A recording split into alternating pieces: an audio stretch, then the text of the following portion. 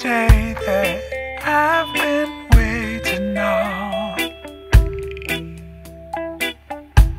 Impatiently awaiting the passing of this storm.